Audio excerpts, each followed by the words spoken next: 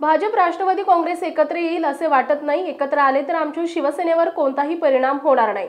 भाजप शिंदे गट राष्ट्रवादी काँग्रेस हे तीन पक्ष एकत्र आले तर आनंद होईल असं मत शिंदे गटाचे उपनेते माजी खासदार शिवाजीराव आढळराव पाटील यांनी गुरुवारी व्यक्त केलंय. राष्ट्रवादीचे खासदार डॉक्टर अमोल कोल्हे भाजपमध्ये आल्यास मला अडचण नाही पण मी निवडणूक लढवण्यावर ठाम असल्याचंही ते म्हणाले शिरूर लोकसभा मतदारसंघातील विविध प्रलंबित प्रश्नांसंदर्भात आढळराव पाटील यांनी आयुक्त शेखर सिंह यांच्याशी चर्चा केली. शिंदे गटाचे उपनेते इरफान सय्यद दत्ता भालेराव यावेळी उपस्थित होते. त्यानंतर आढळराव यांनी पत्रकारांशी संवाद साधला. आढळराव म्हणाले की शरद पवार यांनी राष्ट्रवादीच्या अध्यक्षपदाचा राजीनामा कशामुळे दिला याबाबत काही सांगता येत नाही. अखंड राष्ट्रवादी नव्हे तर अजित पवार भाजपासोबत येतील अशी चर्चा आहे. त्यामुळे भाजप राष्ट्रवादी एकत्र येईल असं वाटत नाही. एकत्र आल्यास आमच्या शिवसेनेवर कोणताही परिणाम होणार नाही.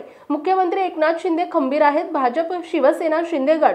राष्ट्रवादी काँग्रेस एकत्र आले तर त्याचा आम्हाला आनंदच होईल. भविष्यात काय होईल माहीत नाही.